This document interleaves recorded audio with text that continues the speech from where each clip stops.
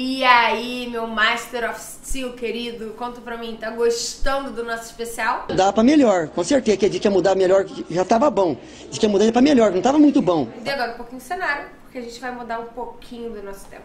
Eu tenho falado o tempo todo pra você que quer gerenciar obra, quer fazer projeto, quer ficar mais na parte administrativa, mais na parte técnica do Steel Frame, tenho conversado muito com você sobre empreendedorismo, sobre negócios.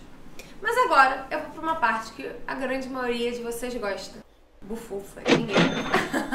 Fala sério que você já não ouviu seu avô, né? Seu pai falando isso. Então, é o seguinte.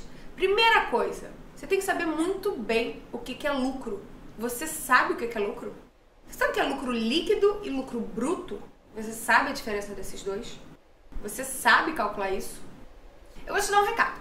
Se você sabe, você tá de parabéns. Não é todo mundo que sabe. Agora, se você não sabe, começa a se preocupar. Mas antes que você vá estudar, eu vou te dar uma palhinha. Toda obra, né, todo serviço, todo projeto, a gente mede um resultado. O que, que é o resultado, né? No caso de obra, a gente tem o quê? Os nossos custos diretos que a gente tem de uma obra. Custo direto é material, é mão de obra. É o custo que você tem lá, que você sabe. E você tem os seus custos indiretos. São aqueles um monte de custos que quase ninguém sabe, que é imposto, que é descarte, que é uniforme, que é alimentação, transporte, frete, um montão de coisa que quase ninguém sabe calcular. O seu lucro bruto é o quê? Vamos supor, uma obra minha custou 100 mil. E eu tive de custo direto, material que eu comprei e é, valor que eu paguei para minha galera da montagem, menos o custo do material. Isso me gera o lucro bruto. Agora, o que, é o lucro líquido? É quando eu tiro esse custo direto, né, que é o valor de mão de obra, mais o custo de material, menos o lucro líquido. Então a gente vai ter o valor de venda menos custo direto e menos o custo indireto. Deu para entender? Eu fico meio confuso. Eu não entendi. Eu não sei o que aconteceu. Vamos lá. De novo. Lucro bruto, valor de venda menos custo direto. Lucro líquido, valor de venda menos custo direto menos custo indireto, lucro líquido. Fechou?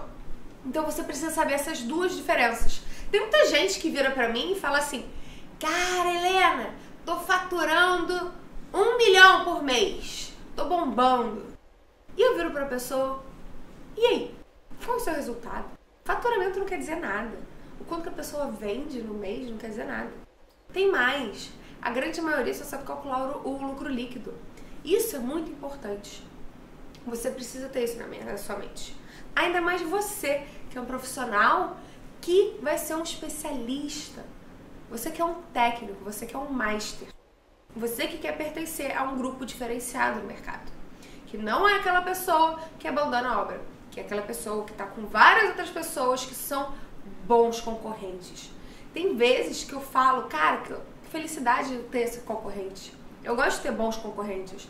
Eu não gosto de ter maus concorrentes que não sabem calcular um BDI, não sabem a diferença de BDI calculado e BDI desejado, não sabem a diferença de lucro líquido e lucro bruto.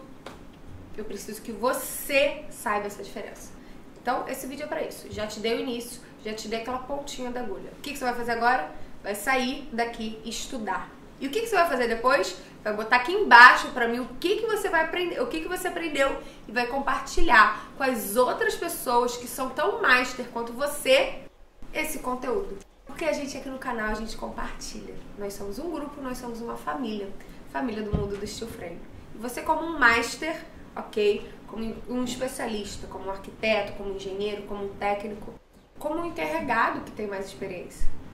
Você que é essa pessoa, você vai vir aqui e vai deixar aqui embaixo esse comentário para mim. Aproveita, que é igual esse vídeo, a gente vai ter mais alguns outros. Por quê? Porque essa é a palhinha do que eu vou dar lá no evento da Nix. Pois é, então se você vai estar na Nix, vai lá me assistir e você vai ver direitinho como é que eu calculo e faço essas contas para ter o quê? para ter um maravilhoso resultado da minha obra.